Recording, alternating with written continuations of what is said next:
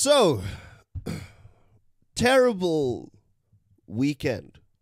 Horrible weekend, I think, for the greater world because the Israel Palestine conflict has been something the world has been praying to be resolved since the beginning of praying.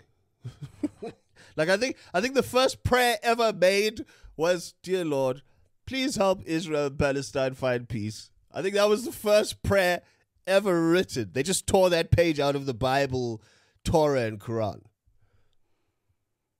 On Saturday morning, Israel was attacked by the terrorist group Hamas.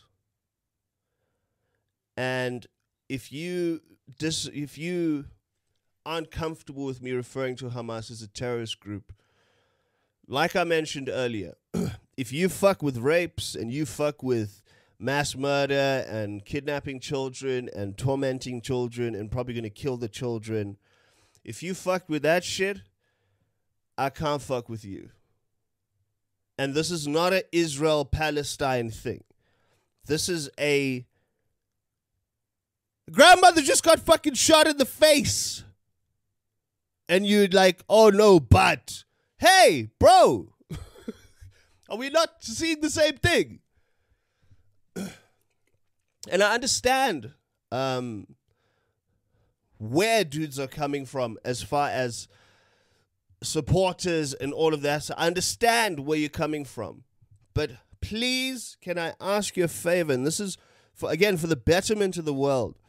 Can you stop trying to line Islam with Hamas? Because those are two different things.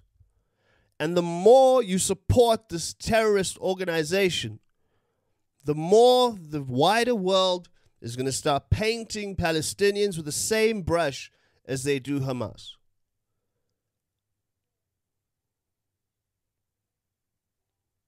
Saturday morning, Israel was hit with their most deadly terrorist attack.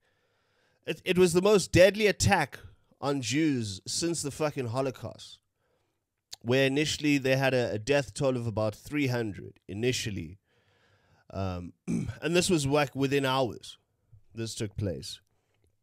Half past six in the morning on Saturday, basically from the Gaza Strip, um, Hamas stormed Israel, broke through fences and security. They managed to breach the fence in 20 different places, which is wild, guys, because if you're familiar with Israel's defense system, it's it could fucking catch like eh, eh, has anyone ever wondered why there's no UAPs or UFOs in Israel?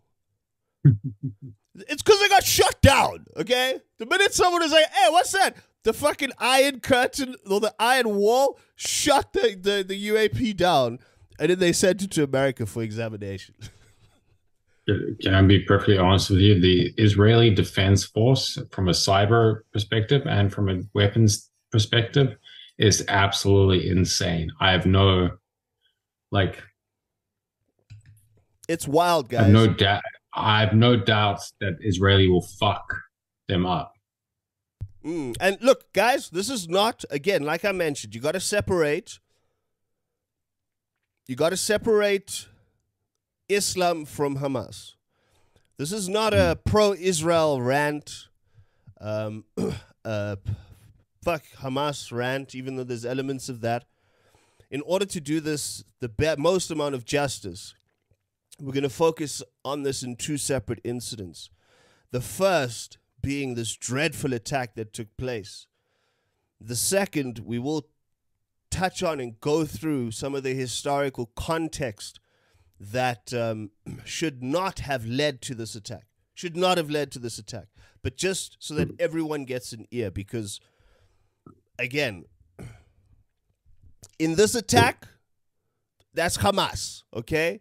But if we're looking outside of this attack, um, Israel hasn't covered themselves in glory. no. should, should we give the synopsis quickly, Jay? Do you want me to give a synopsis? Go for it. Go for it.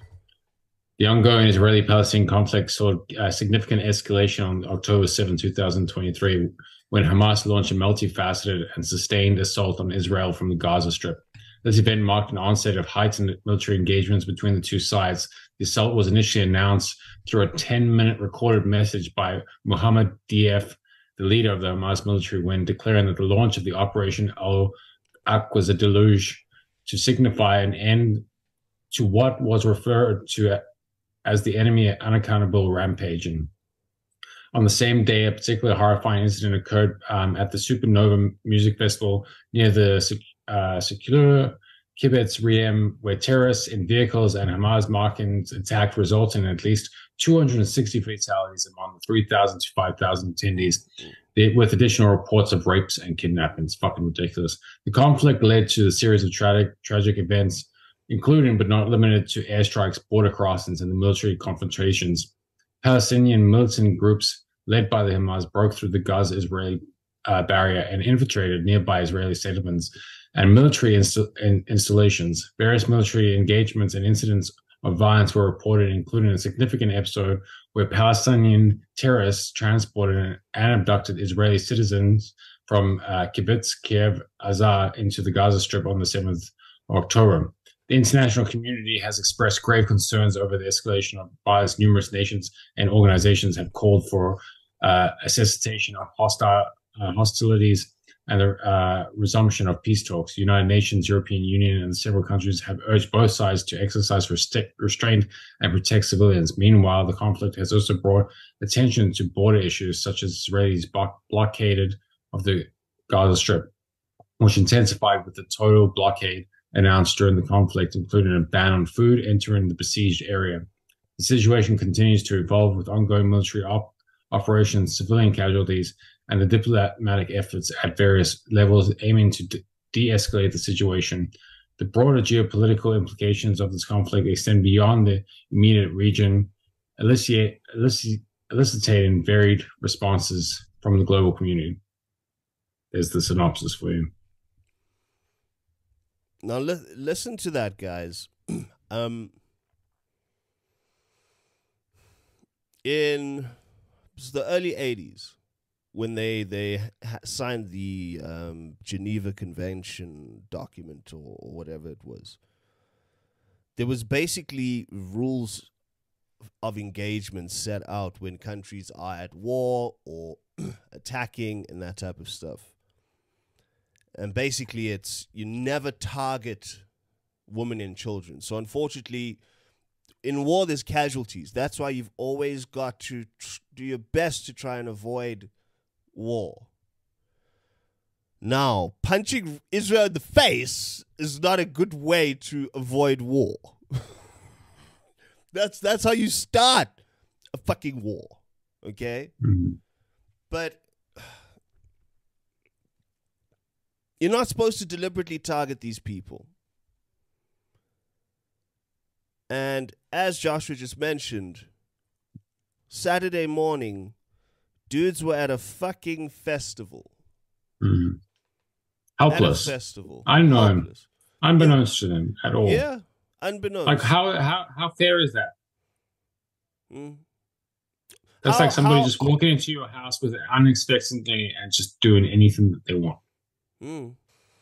And they went to town on this this festival and the people of this festival and you got to think that at six in the morning, half six in the morning, besides the fact that everyone's God is the fuck down, everyone's Bro, imagine being fucked on shrooms and this shit starts fucking happening in front bro. of you, bro. You, you just like you look in the sky and you see fucking pe- hang gliders with yeah. fucking machine guns firing at the crowd. Even thinking about it makes me like woozy. Bro, it's it's it's almost surreal.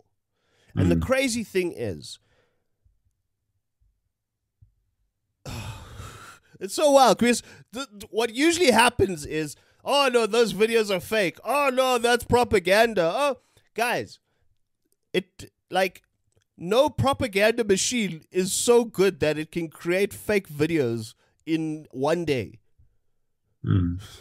that look real. No propaganda machine can do that.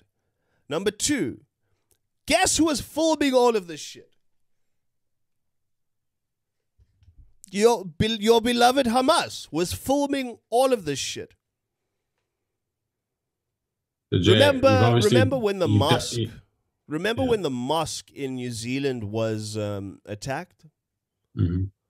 And dude ran in there with fucking guns and he had a GoPro on and he was just there to kill Muslims. Tomas's brother, his white brother. That's the worst part about this thing. Again, we'll go into the history shortly. Is that these two religions were created by two brothers. Hmm.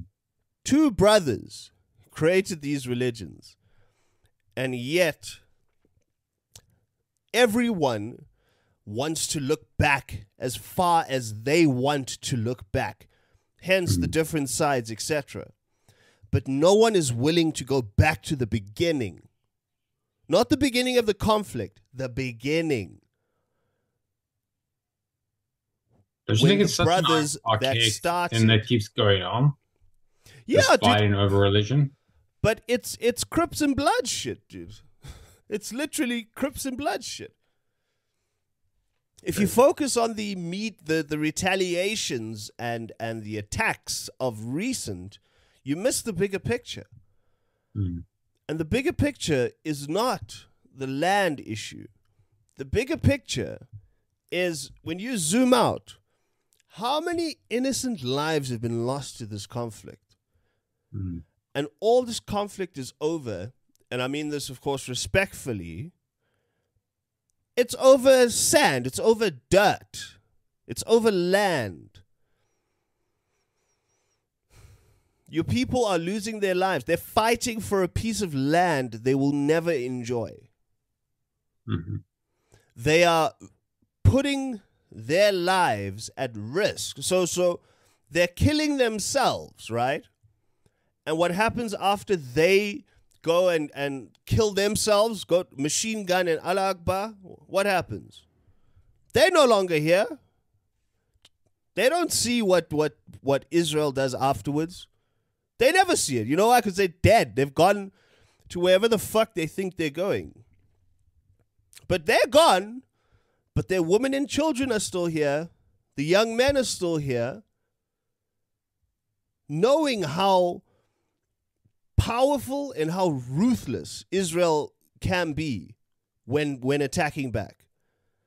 You went and put your your people's lives you basically signed their fucking death certificates.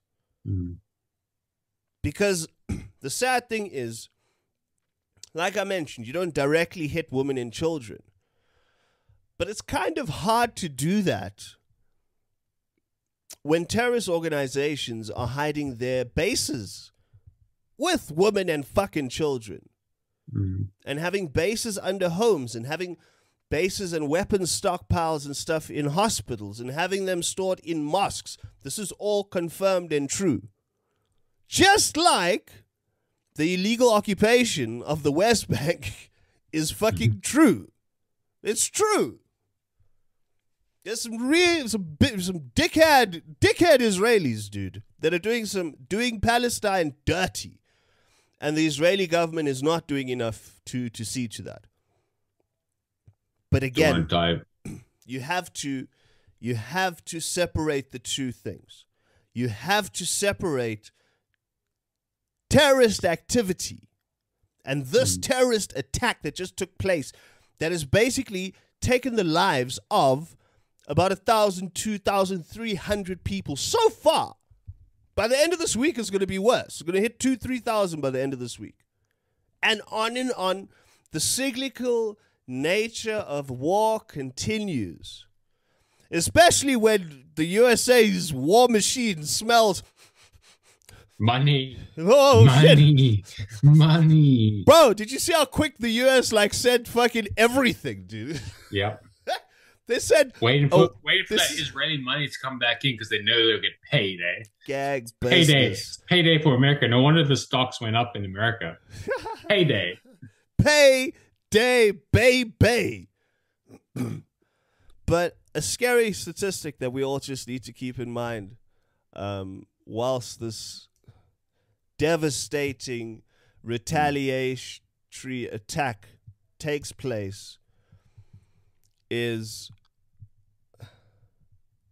crazy stat guys 50% of the Palestinians in the Gaza Strip are below the age of 25. That shows you what war does.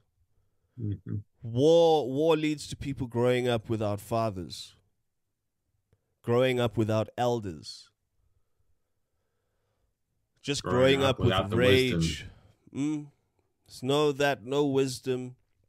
You know, it's ironic that we teach our children don't turn the other well turn the other cheek and an eye for an eye leaves us all blind you know and these this is wise words usually old people towards the end of their life they get wise and they start dropping some knowledge and that's one of them and it's quite literally this terrorist attack could have been the eye for the eye that was taken in April, which was the eye for the eye taken in December, which was the eye for the. And, again, what are we doing? That, that, that, that's a good segue into the um, timeline. I've got a brief overview on Bang timeline, it. Jay. Would you like me to ban it? Thank you for watching this clip from the OG session. For the full episode, visit the It's Friday Forever YouTube channel. Whilst you're there, subscribe to the channel, turn your notifications on so you're notified whenever we drop new content, and I'll see you in the next one.